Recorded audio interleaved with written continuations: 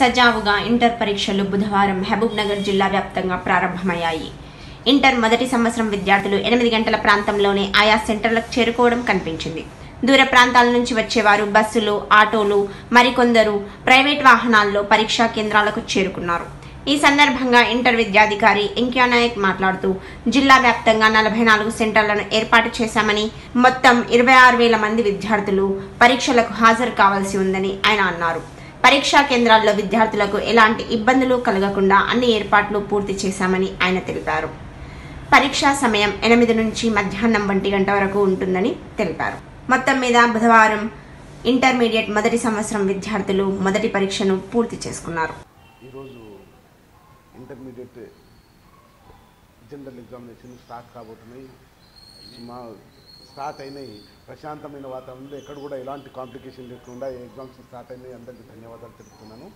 అయితే ఈరోజు మనకు సుమారుగా పదమూడు వేల రెండు వందల ఇరవై మూడు మంది ఈ మహమ్మద్ జిల్లా నుంచి విద్యార్థులందరూ పార్టిసిపేట్ చేస్తున్నారు. ఎక్కడ అన్ని పరీక్షలు మొదలైనవి. దానికి మనకు పర్యవేక్షించడానికి ఆల్ ఆల్రెడీ మేము ఈ సిట్టింగ్ టీంలను కానీ ప్లేయింగ్ టీంలను అన్ని ఏర్పాటు చేయటం వాళ్ళందరూ కూడా సెంటర్లకు విజిట్ చేయడానికి వెళ్ళిపోయినాయి. ఈ హైపవర్ కమిటీ కూడా వెళ్ళిపోయింది. డీసీ కమిటీ ఇప్పుడు లోకల్ విజిట్ చేయడానికి మేము రెడీగా ఉన్నాము. ఎందుకంటే ఎక్కడన్నా ఈ క్యూపీ కానీ అట్లాంటివి ఈ షార్టేజ్ ఉంటే మేము వెంబడే స్పందించడానికని ఇక్కడ వెయిట్ చేస్తున్నాము. వేరే రెడీ టు గో ఉన్నాము ఇప్పుడు ఆ సెంటర్లకు విజిట్ చేయడానికి బయలుదేరుతున్నాము.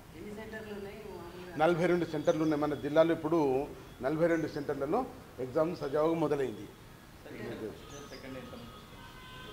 మొత్తము ఈ ఇరవై ఆరు వేల ఒకరు ఇంటర్ మన ప్రథమ ద్వితీయ సంవత్సరం విద్యార్థులు ఈ రోజు మాత్రాన పదమూడు వేల రెండు వందల ఇరవై మూడు మంది ఎగ్జామ్స్ అటెండ్ అవుతున్నారు.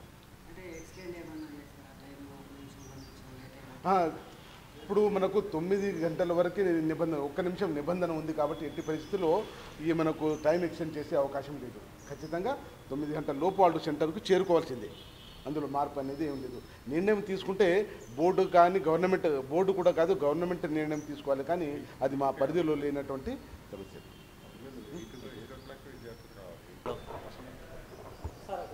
నమస్కారం.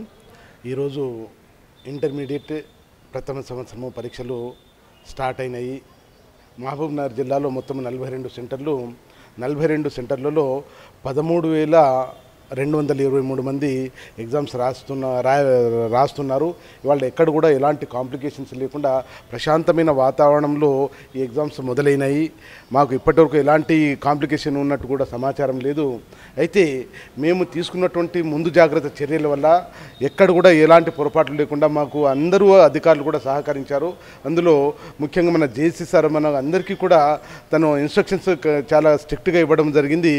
హెల్త్ డిపార్ట్మెంట్ నుంచి కానీ పోలీస్ డిపార్ట్మెంట్ నుంచి కానీ ఆర్టీసీ వాళ్ళు కానీ అదేవిధంగా ఎలక్ట్రిసిటీ వాళ్ళు కానీ పోస్టల్ వాళ్ళు కానీ మనకు అన్ని డిపార్ట్మెంట్స్ కూడా సహాయ సహకారాలు అందించడం వల్ల ఈరోజు పరీక్షలు మాత్రం చాలా ప్రశాంతమైన వాతావరణంలో కాంప్లికేషన్స్ లేకుండా స్టార్ట్ కాబో స్టార్ట్ అయినాయి. సో అందరికీ కూడా నేను మనస్ఫూర్తిగా ధన్యవాదాలు తెలుపుతున్నాను.